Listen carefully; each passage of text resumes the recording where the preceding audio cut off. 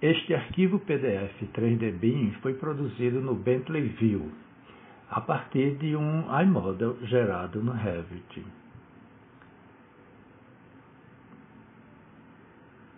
O modelo 3D do PDF tem um menu próprio. A roda do mouse aciona o zoom para frente e para trás. Com o botão esquerdo, podemos rotacionar o modelo.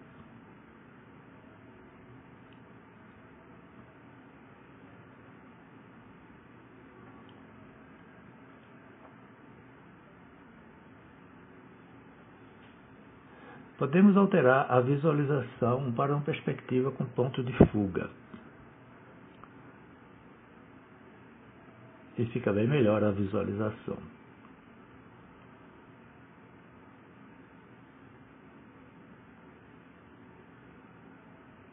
Com Ctrl e o botão esquerdo, deslocamos a tela em qualquer direção.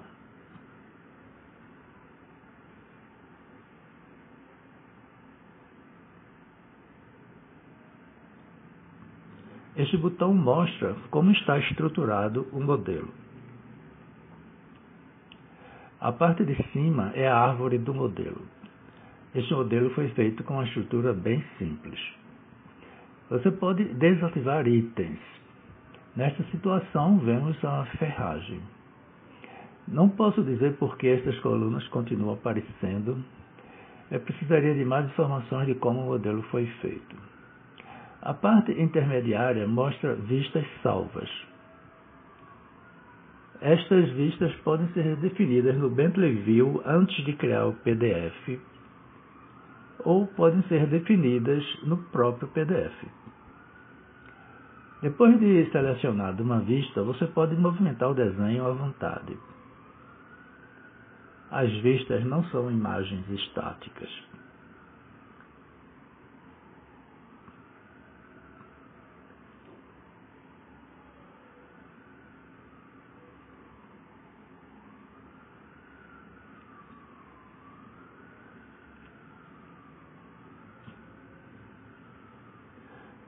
Como usuário do PDF, eu vou criar uma nova vista.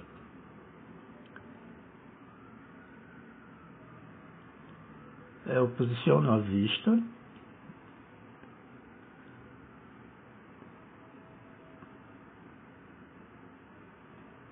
E clico para criar uma visualização neste botão.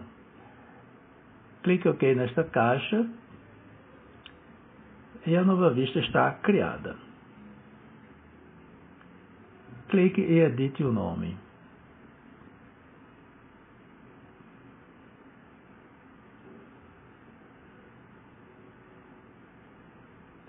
E está criado um novo ponto de vista.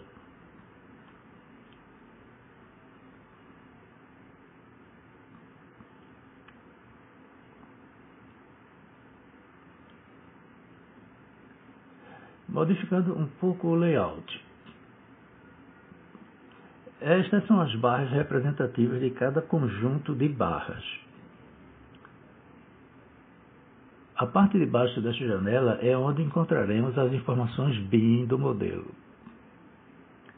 Aqui tem o nome da vista atual e eu vou selecionar uma barra qualquer. Este conjunto de barras é selecionado e podemos ver e analisar os dados de uma barra e alguns dados do conjunto. Por exemplo, o comprimento de uma barra é 190,62 centímetros.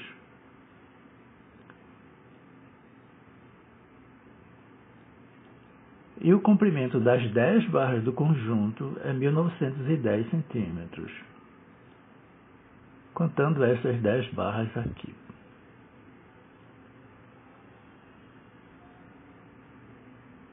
Uma barra, dez barras.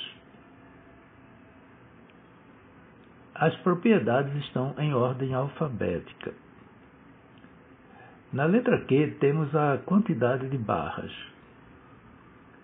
quantidade por conjunto de vergalhões. A informação me parece duplicada. Este é o nome do arquivo Revit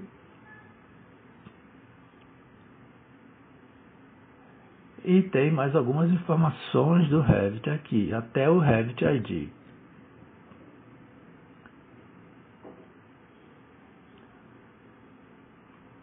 Os vergalhões têm formatos pré-definidos. Este é o formato 6.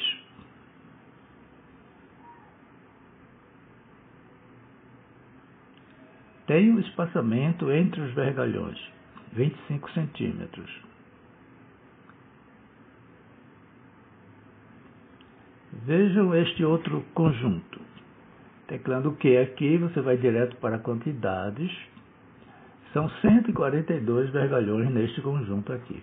E o volume total do ferro do conjunto é 32.788 centímetros cúbicos. Este é um modelo só de ferragem, mas qualquer informação BIM de qualquer parte de uma edificação aparecerá aqui quando for selecionada.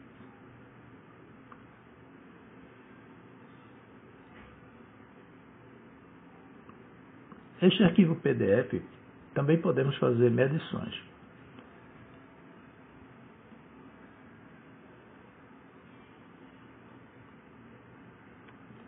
Em um arquivo PDF 3D, você tem um conjunto de ferramentas especiais.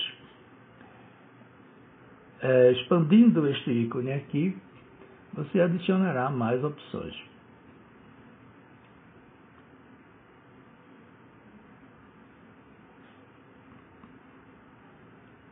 Clicando aqui, elas ficarão permanentes.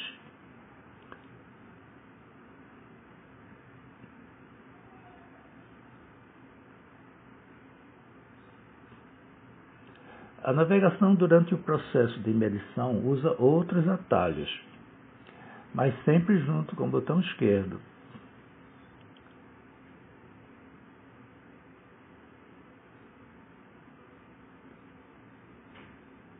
Depois de decorar, você não vai precisar mais dessa caixa.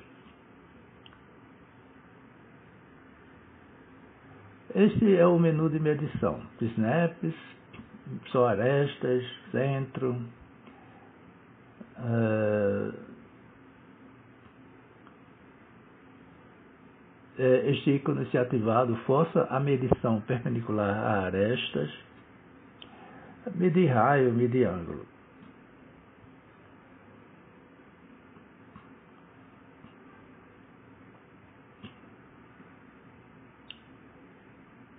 Medindo aqui. Aresta ou ponto.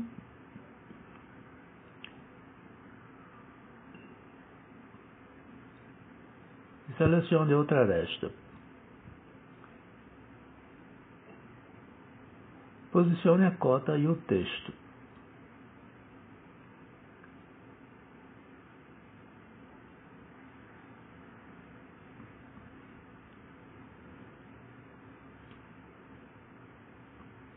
Você pode medir qualquer distância, sempre começando em uma aresta ou ponto.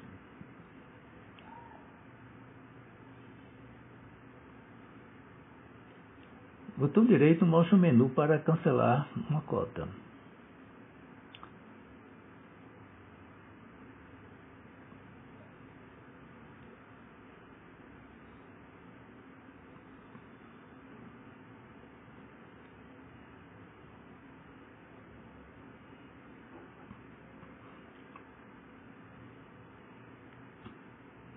Observe que as cotas geraram visualizações que você pode, inclusive, selecionar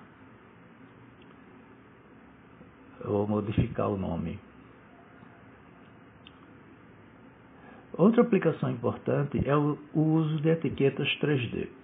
Por exemplo, eu vou solicitar uma coisa ao projetista que me enviou este PDF 3D BIM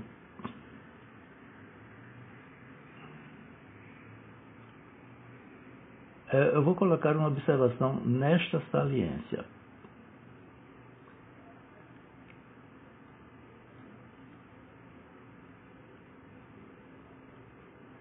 Com esta ferramenta, adicionamos um comentário 3D. É, veja que o cursor sempre se ajusta aos planos. Eu clico aqui e aqui. Abre-se uma caixa para a digitação do texto. É possível eliminar esta saliência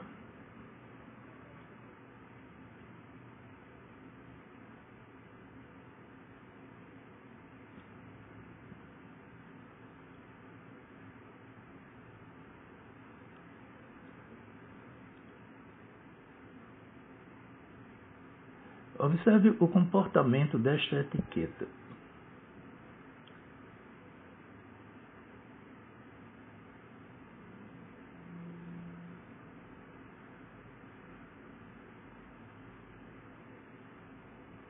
Muitas etiquetas desse tipo vai congestionar o modelo. Né?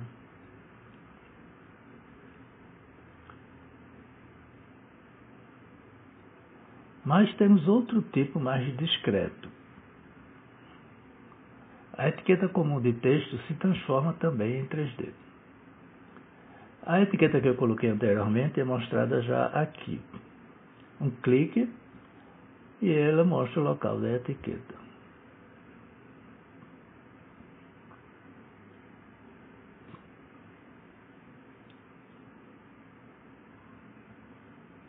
Clique com o botão direito e você pode responder.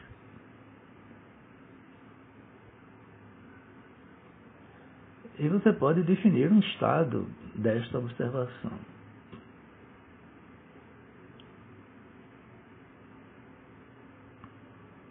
Tipo rejeitado. Vamos mostrar o outro tipo de observação aqui no patamar da escada.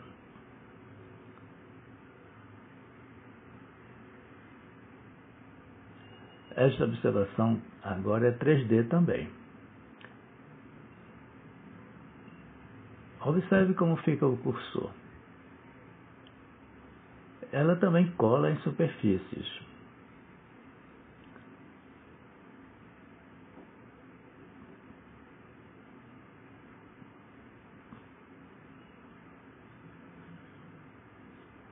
Favor eliminar este degrau no patamar.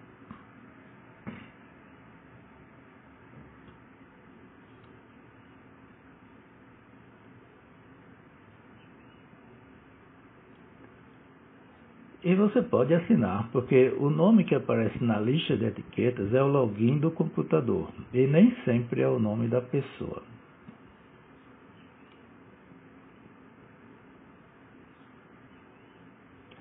A etiqueta desaparece. Vai reaparecer outra vez com um clique aqui.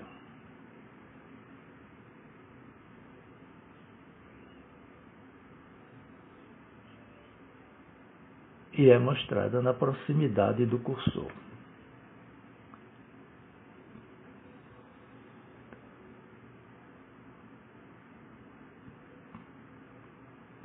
Botão direito e você tem opções para ela também.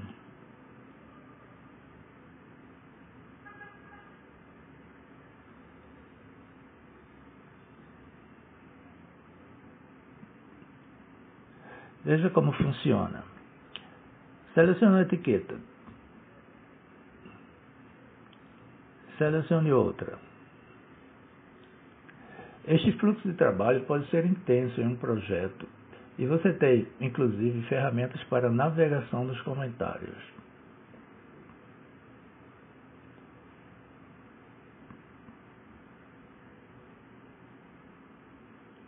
Você pode localizar etiquetas também aqui. E, finalmente, você pode mostrar cortes no modelo.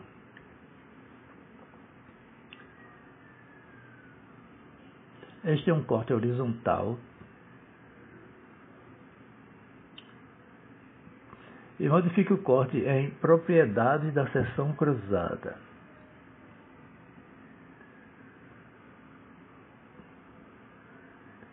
Este Y, por exemplo,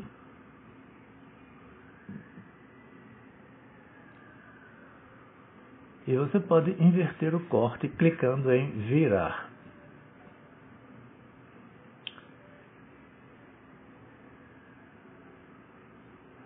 e pode posicionar o corte.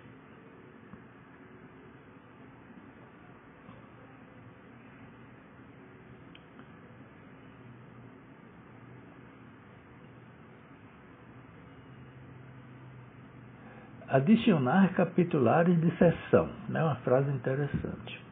Esta ação fecha o corte,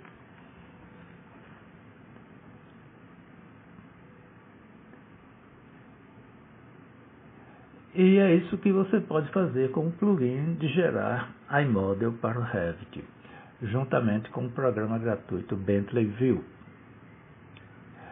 Um PDF 3D BIM que todos os interessados podem manusear por exigir apenas o Acrobat Reader, que também é gratuito.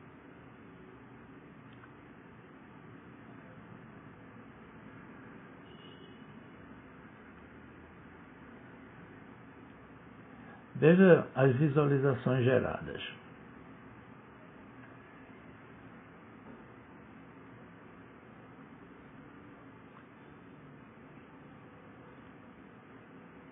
A vista cortada também é uma visualização.